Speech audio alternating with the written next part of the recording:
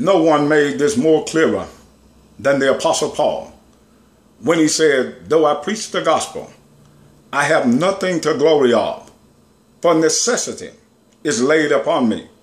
And woe is unto me if I preach not the gospel.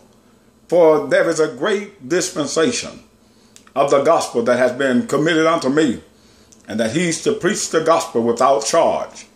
Because sometime in preaching the gospel, people believe that that's all you're preaching the gospel for, is for what you can get out of it. And they're always associating it with wealth. And that what many so-called preachers are doing.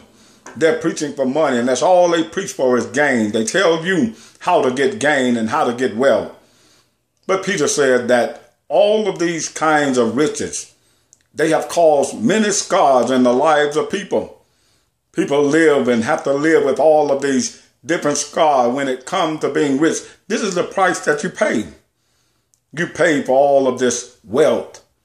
Even Jesus says in St. Matthew, the sixth chapter, he talks about don't lay up for yourself treasures upon this earth, wherein rust and dust and moth and everything come in and canker against it and it rusts.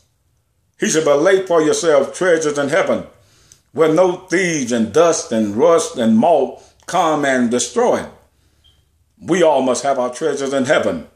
The Lord said, but where your treasures are, there will your heart be also. This is where the heart of so many people are. It's not with God. It's whatever they are so concerned with and about.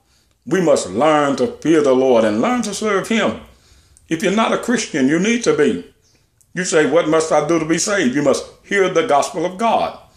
Paul, he talks also in 1 Corinthians, the ninth chapter. He said that if I don't preach this word, even when I preach it unto others, that I myself can become a castaway. We can preach this gospel to other people and yet lose our own soul at the same time by not living by the standards of God. God, He wants us to commit our souls and our bodies as a living sacrifice unto Him. And through that and by that, God is well pleased. So if you're not a Christian, you come to the Lord by hearing His word. Romans 10 17. So then faith come by hearing, hearing come by the word of God. We must believe his word, Hebrews 11 and 6. We must repent of our sin, Luke 13, 3 and 5. Confess with our mouth that Jesus Christ is God's son, Matthew 10, 32 and 33. We must be baptized in water to have our sins washed away, Acts 2, 36 through 38 and verse 47. We must be faithful unto death until we die, John 8, 31, 32. Revelation 2 and 10. God, He calls all us unto Him. Why don't you come before it is too late? Visit the Church of Christ when you can.